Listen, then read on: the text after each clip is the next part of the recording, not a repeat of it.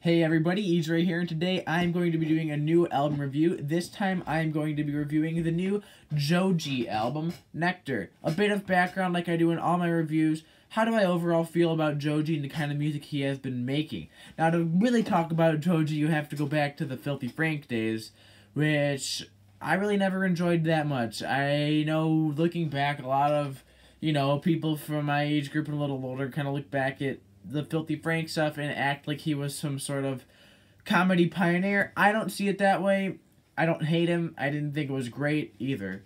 Now, he did do the Pink Guy album, which is another thing where it's like, it is what it is. I wasn't crazy about it.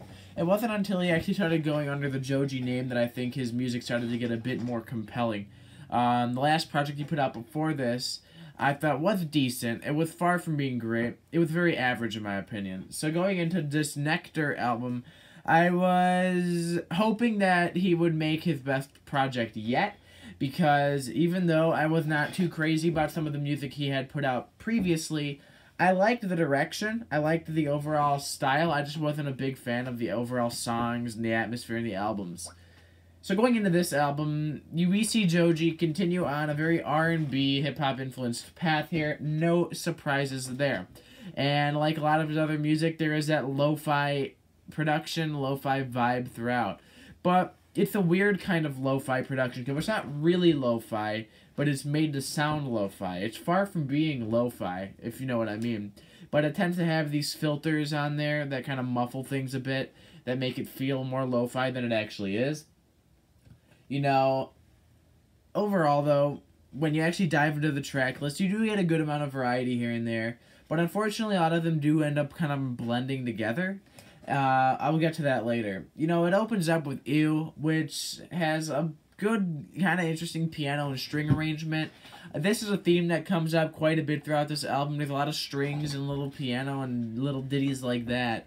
And some of them turn out better than others. I think on Ew, the opening track, it actually did come across well. But on a lot of other tracks, it just comes off as unnecessary, to say the least. You know, songs like Modus, you know, on the other hand, has a good atmosphere, has those good instrumentation, but then you get the beat, which kind of kills the mood of the track. That sort of like traditional hi hat hip hop beat that you hear a lot. Unfortunately, I think that hurts the track Modus quite a bit. It kind of distracts from the song. And this is something that happens quite a bit. There's usually a good part in the instrumental, and then something comes in and kind of kills the vibe. The song Tick Tock, too, is another one where it has a good instrumental, very, you know, soothing, very intriguing instrumental, but it's just an annoying flow. His flow on this song, to me, is very obnoxious in many spots. Um, so that drags the song Tick Tock down for me. However, there are some highlights on this album. Run was a single that came out. Not only does it have a great vocal delivery and great vocal performance all around, it genuinely has an interesting little guitar solo at the end, which threw me off guard at first, but I will say that I actually do think it is a really well done solo. It does add a lot to the song, and throughout it, it does have some interesting guitar melodies played throughout, so I also really appreciate that. The song Daylight as well was another highlight for me. I really liked, once again, the instrumental palette was nice and soothing to the ears, and just like Run, some great vocal performance there from Joji and some good guitar work. So there's a theme that you might be catching on to when it comes down to vocals. He has a good voice, and when he uses it well on a certain track, it can come across really good. Whereas when he doesn't use it as well on some tracks, it definitely can ruin a track. You know, Gimme Love, for example would have been a better track if it, if the vocals sounded better there. Probably one of the, my least favorites on this album. But for the most part, this album rides that fine line between um, going overboard and not doing enough. What I mean is that you have songs like Run, where that guitar solo at the end, as good as it is, could feel a bit just in your face.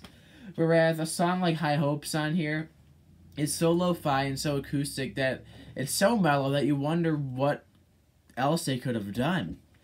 And at the end of the day, if there's one song I have to pick that's my overall least favorite, it'd be Pretty Boy. probably the worst song on here. Very cliche, very gimmicky, and that song did not just that song didn't do it for me. And I, the last song I really want to mention here is 777, which I enjoyed the little synth bass going throughout that song. Now, overall, how do I feel about this project? In many ways, it's underwhelming. I mean, it's underwhelming, but not bad. I was hoping that it would be better than it is, but I don't dislike it. You know, it has some underwhelming vocal delivery, and overall the arrangements are very bland in many spots.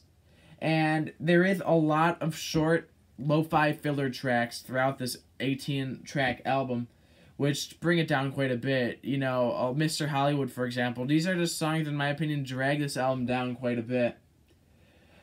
But I will say there are some really good synthesizer, good electronic pads, good atmosphere to this album. I do appreciate. I do think Joji did execute the atmosphere quite well.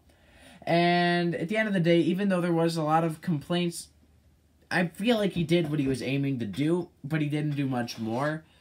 So that is why I have settled on giving this album a solid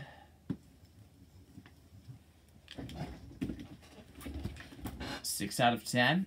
Anybody that knows my reviews or don't knows anything above a five is good, anything below a five is bad. So a six out of ten is far from being the worst. It's also far from being the best. It's kind of in the middle there, but a little above average. I did enjoy this project. Just once again, I feel like Joji doesn't go as far as I wish he would. But that is it for now. Joji Nectar, 6 out of 10.